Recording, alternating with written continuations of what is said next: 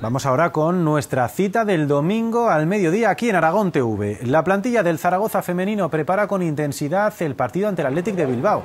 Los dos equipos llegan a la cita sin jugarse nada en la clasificación, pero las vascas no bajan el nivel debido a la competencia y las aragonesas quieren acabar bien y dar una alegría a su afición.